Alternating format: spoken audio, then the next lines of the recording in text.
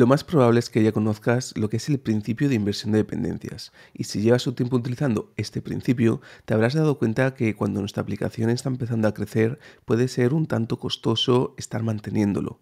Por ello, en este vídeo te quiero hablar de lo que son los contenedores de dependencia y cómo ellos nos pueden ayudar a aplicar dicho principio de una manera muy sencilla y escalable.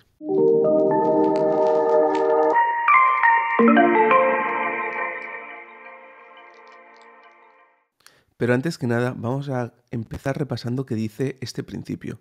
Las clases de alto nivel no deben depender de las clases de bajo nivel, ambas deben depender de abstracciones. Las abstracciones no deben depender de los detalles, los detalles deben depender de abstracciones.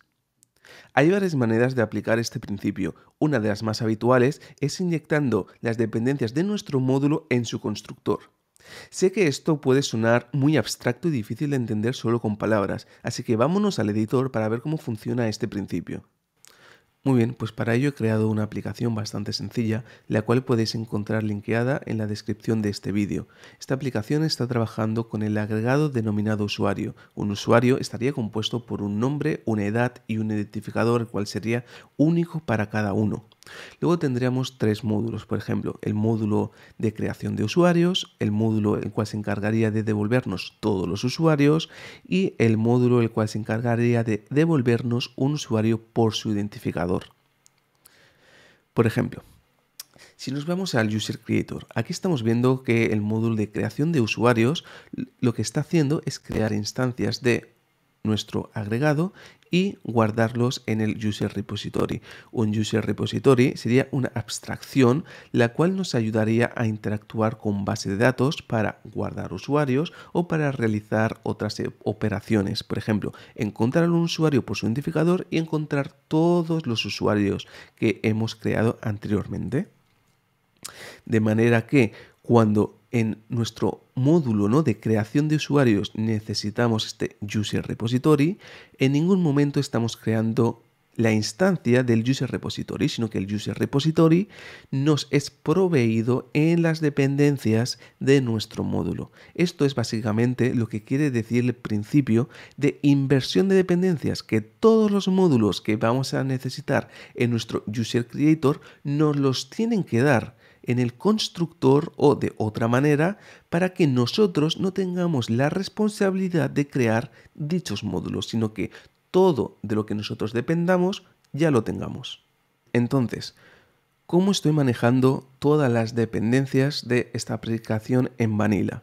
Lo que he hecho es crear un fichero que le he llamado container, le podría haber llamado de otro nombre, el cual se encargaría de contener todas las instancias que posteriormente nosotros vamos a utilizar.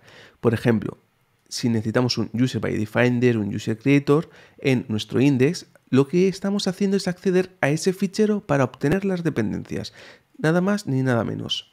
Un fichero que se encarga de crear todas esas dependencias y de exportarlas de cara al exterior. Como estamos viendo, por ejemplo, a la hora de crear un user creator, nuestro user creator, como hemos visto antes, ¿no? Necesitaría un user repository y un logger. Entonces, lo que estamos haciendo aquí es crear dichas instancias para luego pasárselas al módulo ¿no? de creación de usuarios. Como vemos, cuando estamos en una aplicación sencilla con un par de clases, este principio no es muy complicado de seguir. Sin embargo, os puedo asegurar que cuando nuestra aplicación está comenzando a crecer y tenemos muchas dependencias, somos muchos desarrolladores que estamos tocando distintas partes de nuestra aplicación, todo esto se puede volver un tanto complicado. Aquí es donde intervienen los contenedores de dependencia. Podemos pensar en un contenedor de dependencias como una caja donde vamos a ir guardando todos los módulos de nuestra aplicación, de forma que cuando necesitemos un módulo, en lugar de crearlo nosotros mismos, lo que vamos a hacer es sacarlo de dicha caja.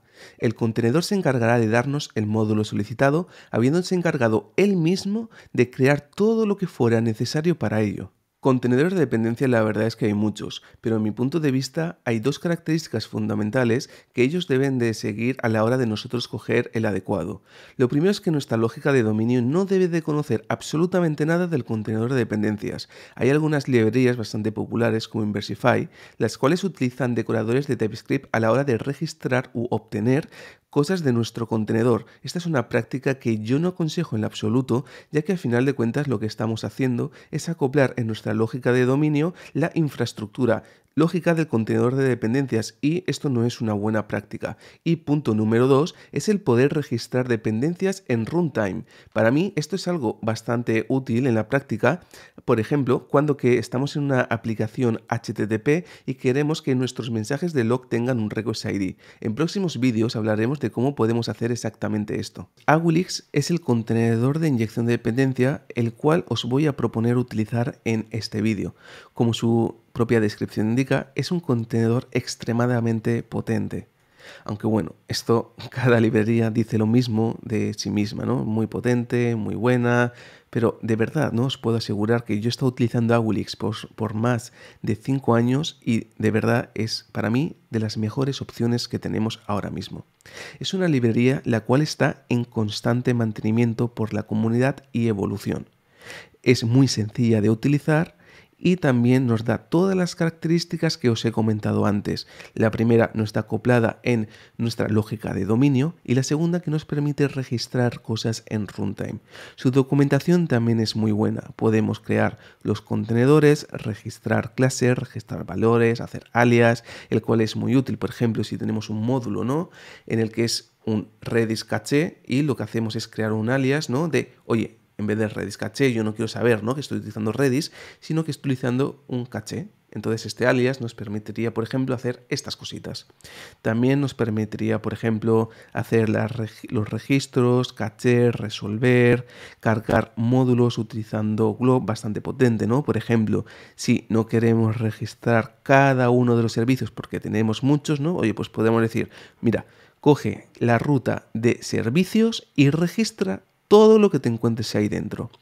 Podríamos crear singletons, podríamos crear también instancias en scope, transient, muy potente. Vamos a ver a continuación cómo podemos cambiar nuestra aplicación para pasar de vanilla, de el fichero donde teníamos todas las dependencias, a utilizar Agulix para que nos ayude a manejar todos los módulos de nuestra aplicación. ¿Cómo podemos empezar a utilizar Agulix en nuestro proyecto? Para que así también veáis cuál es el potencial de esta herramienta. Lo único que tendríamos que hacer, por ejemplo, es crear el contenedor utilizando Agulix, registrar en este contenedor todos los módulos que posteriormente vamos a querer acceder y luego resolverlo. Tan sencillo como esos tres pasos. Creamos el contenedor, metemos en la caja, en el contenedor, todas las dependencias y luego empezamos a utilizarlo. Como vemos, aquí no nos estamos encargando nosotros, como estábamos haciendo aquí, de pasarle todas las instancias necesarias, sino que Agulix es inteligente y lo que va a hacer es detectar, vale, cuando me pidan un user creator, me están diciendo que es una clase del user creator. Este user creator lo que va a necesitar es un user repository y un logger. Entonces Argulix va a ver en su contenedor si tiene esas dependencias. Si las tiene, se las va a inyectar. Si no las tiene, va a fallar. Podemos también configurar Agulix para que si un módulo, ¿no? una clase necesita una dependencia que nosotros no hemos registrado anteriormente, no falle. Pero bueno, esto es más de temas de opciones que nos permite tener Agulix. Entonces, ¿dónde está aquí la potencia ¿no? de los contenedores de dependencia?